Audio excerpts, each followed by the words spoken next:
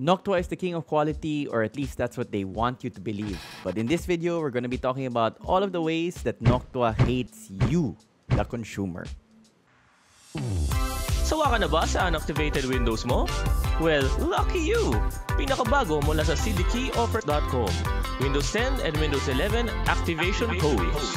Legit, safe, at pinakamura. Madali lang umorder.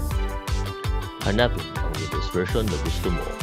Piliin ang preferred payment method. Wala pang 5 minutes, nagsisigi ka na para sa Windows mo. Marami na kaming natulungan. Dati, sad and depressed ako. But now, I found the love of my life. Dati, aimless and walang purpose ang life ko. But now, I'm a world-class Zumba instructor. So, web developer ako and content creator for a YouTube channel. And ngayon, ganun pa rin ako pero activated na yung Windows ko. Kaya kung naghahanap ka ng legit, mura, at original software, Check out cdkoffer.com. Check out cdkoffer.com. Check out cdkeyoffer.com. One clear reason that Noctua hates you, the customer, is that it has no RGB. The trend in PC building that set off a thousand lights is absent in Noctua's product line. Everybody and their mother loves RGB. Who doesn't want your computer to look like a flashing neon sign, alternating between soothing rainbow and pulsating blue, red, white, violet, and every color in between? All other manufacturers jumped onto the RGB bandwagon with their own proprietary software, with cut-out light frames. Anything that can be RGB'd has been RGB'd except Noctua. Noctua coolers are pristine. They are unsullied by any frivolous lighting, RGB system, proprietary software. A PC guy from 1990 looking at Noctua coolers today would immediately recognize that yes, that is a cooler and not a disco ball that somebody stuck in a PC from the 1970s. And speaking of what would old PC guys think of our hardware now, one thing they didn't have before to cool CPUs was AIOs. Back in the day, there was custom liquid water cooling, but now we have all-in-ones that do the job without the muss, without the fuss, super easy to install. But again, not Noctua because they don't care about you. Do you want a Noctua AIO? You're fresh out of luck? The company is still obsessed with air coolers and fans. Do you want a Noctua AIO with a new screen? Because that's the latest thing, slapping a thing on everything. And arguably, that trend started with the CPU block on an AIO. No luck if you're a Noctua fan. Noctua has no AIOs, let alone AIOs with a display. Noctua is like an air avatar that doesn't want to be involved with a water bender at all. Another thing Noctua doesn't like, which is bad for the customer, is it doesn't like names. If you look at all of their product lines, there are no names. You're talking about the NHU12A, the NHD15, the NFA15. Their entire product line is a gobbledygook of letters and numbers without any names. Contrast that to other manufacturers today. Think about the Deepcool Assassin, the NZXT Kraken, the Cooler Master Hyper 212. All of these different brands have coolers and to differentiate them from the market, to personalize them, to stick them into the brains of customers, they give them fancy names. Not Noctua. Noctua's product line looks like a multiplication table that you need to memorize. 2 times 2 equals 4. The largest and baddest cooler is the NH-D15. Real geeks don't need names. Another thing that Noctua doesn't have, which is terrible for the consumer, is a budget line.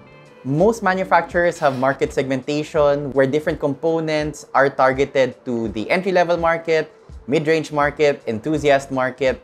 And for sure, Noctua has entries for the mid-range and the high-end, but very little for the low-end. They do have the Redux line, which we'll talk about more in a little bit, but even the Redux line, which is in its customary gray color, isn't that cheap compared to its counterparts from other brands. If you want Noctua, you need to have a bit more cash on hand to afford it. And speaking of color, yes, the Redux line is in gray, but usually Noctua's products are in a very distinct color which is Noctua Brown. And it's not a great color. It clashes with basically any build that you want to do. You want an all black stealth build, Noctua Brown gets in the way. You want a pristine all white build, Noctua Brown gets in the way. Brown just doesn't complement things. You really love Noctua, you want to use one of their coolers, you put it into your system, your system has RGB, RGB plays terrible. It's a terrible contrast with RGB and Noctua Brown. So much so that even when they do collaborations with other brands, you know it's a Noctua collaboration because they're still using Noctua Brown. The company can't be bothered to even give you basic colors like black and white.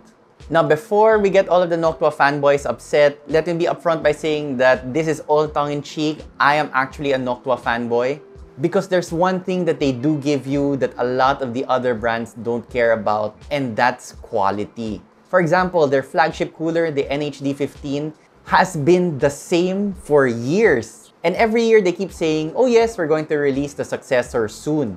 It's been years, we're still with the NHD15, because they want to get the successor right. Noctua's thinking is that when we release a product, it will be the best on the market. It will have improved significantly from our previous product. And that's why the NHD 16 or whatever they want to call it is taking so long because they're taking the time to do the job right. And honestly, all of my tongue-in-cheek criticisms are actually positives of the company. They don't jump on the bandwagon. They don't look at the trend and think that, oh, we could sell X units if we jump on the RGB bandwagon. Oh, we should have an AIO because everybody else has an AIO.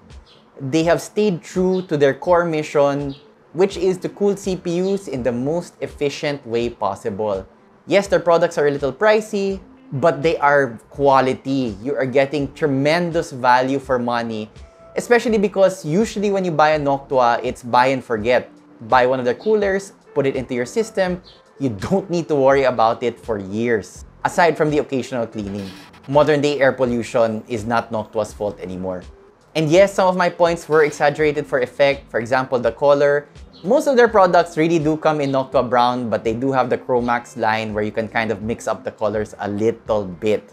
And so I really do admire this company that doesn't give a hoot about market trends. It's all about the performance and the quality of the product They've been around for so long and you can really tell from how the company acts, what they release, what they don't release, that they're obsessed with quality, with thermal efficiency, with cooling your CPU the best way that they can. It might be an old-fashioned way of thinking, but I am 100% on board. We carry a lot of Noctua items in the shop. And there are a lot of people that name-check the brand who say that for my cooler, I want it to be a Noctua because again, they are synonymous with quality. Very few manufacturers have been able to pull off that trick. Even fewer have been able to do it for the number of years that Noctua has been running. Hats off guys, but really, if you decide to sell an AIO, I bet that would be a monster hit. Thanks for watching.